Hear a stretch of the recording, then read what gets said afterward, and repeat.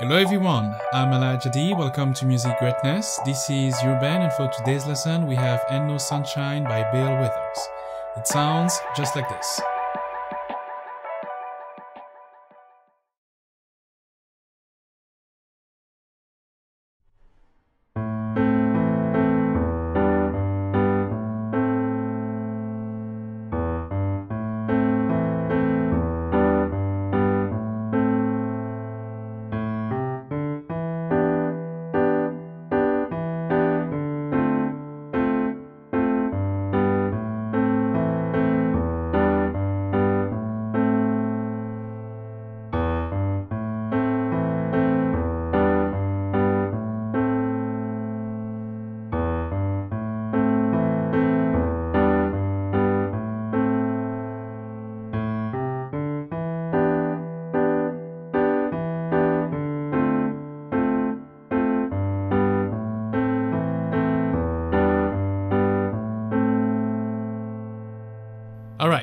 I just played was the main riff that we're going to use pretty much for the entire song. We're playing in the key of A minor. And starting this main riff, we have A minor, so the one chord. Playing A and E on the left, A and C for the right hand. Then we have E minor 7, E on your left, G, B, and D. Going up on G, playing G, G, and B. And that's the chords we're going to use for the first part of the main riff. Coming up next, we have E minor 7, now using this voicing. E on your left, up here, B, D, and G going down a whole step on D minor 7. D, A, C, and F.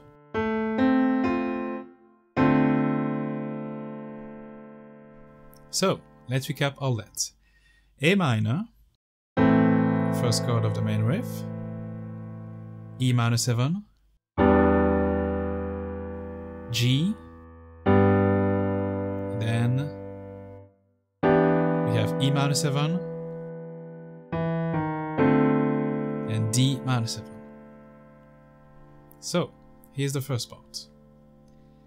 Two, three, four.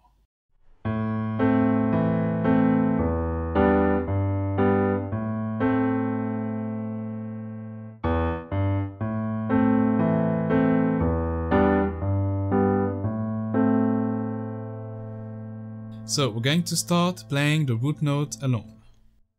So A on your left. Then you're going to play the notes you have on your right hand. Using the left again, play E, then replay the two notes on your right.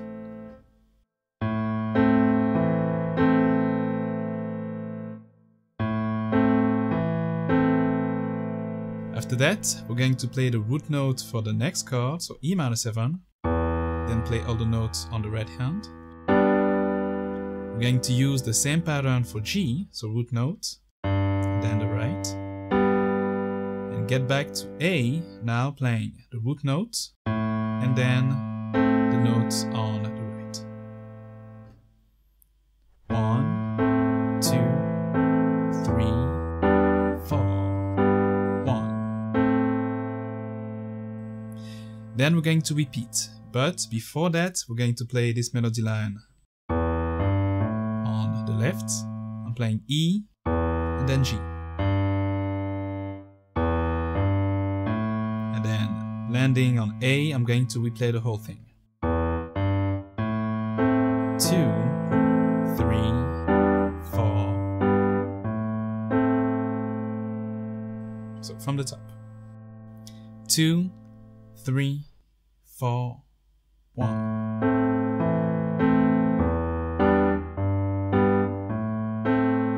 Again.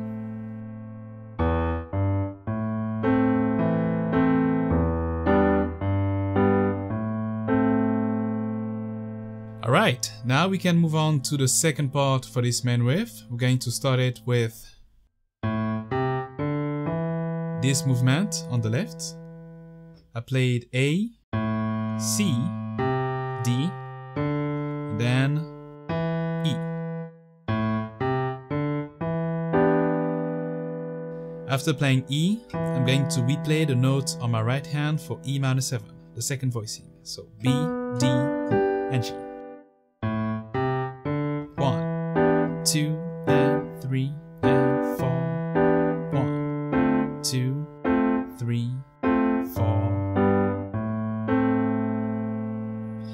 So I replayed the notes on my right hand on the ends of the measure. One and two and three and four. On the fourth beat, I replayed the root note, so E.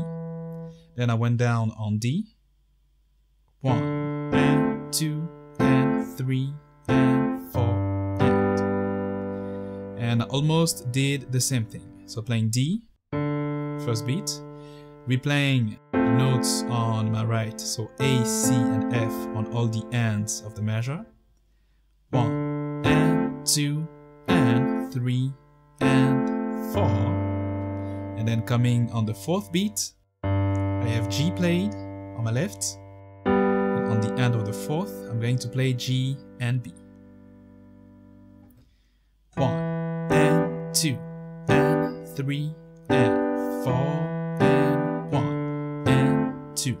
and three and four and one and two and three and four and one. So to end the second part, I'm going to replay what I had in the first part. So A, A and C on my right hand, E, A and C again, then E minor 7, the first voicing, followed by G, and then to repeat. Sorry, first I'm going to play A, so after G. So playing A alone with A and C And then to repeat, that's when I'm going to place that melody line on my left. So again, two, three, four.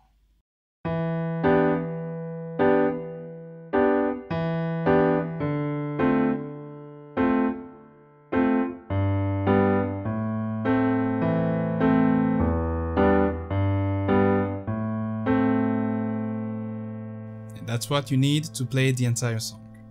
Here it is again, the first part and the second. Two, three, four.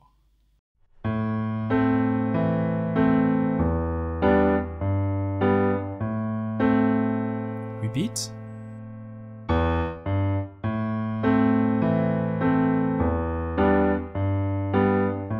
Now you have the second part.